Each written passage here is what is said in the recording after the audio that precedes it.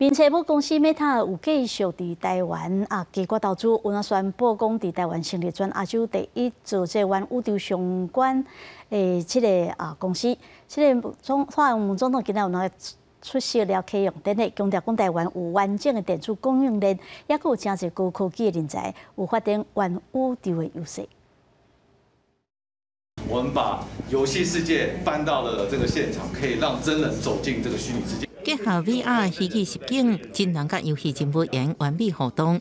其实，音波顶端游戏人物是真人扮演，利用 VR、AR 这些数位技术虚实整合。我不用任何穿戴装置，我可以走进虚拟空间，然后可以跟虚拟角色互动，甚至我可以在里面办 seminar 做一些产品发表。那这种形式就会更加新鲜有趣。实体艺术演虚拟数位化，百万做传统的新娘衫，不需要穿着身躯，透过手机啊镜头，家己翕对应体验。不论你是男生或女生，你都可以去试穿这个新娘的嫁衣。未来艺术家创作。以后唔免干你用静态欣赏，影享受活动乐趣，亲身体验艺术家创作。透过脸书和 Instagram 的呃滤镜，这个 AR 的效果，原本呃比较平面的东西，可以有商业的效果。并且母公司 Meta 宣布在台湾成立全亚洲第一个元宇宙基地。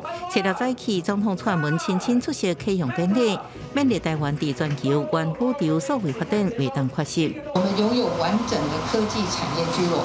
以及丰沛的创意人才，元宇宙在台湾扎根，将带动台湾通讯技术、XR 创新应用等科技发展。Launching our first Meta Extended Reality Hub in Taiwan, bringing to more people and showcase Taiwan's success in the metaverse with the world.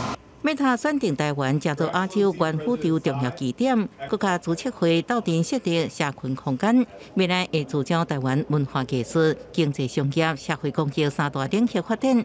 台湾未来有机会组成元宇宙国家队。记者综合报道。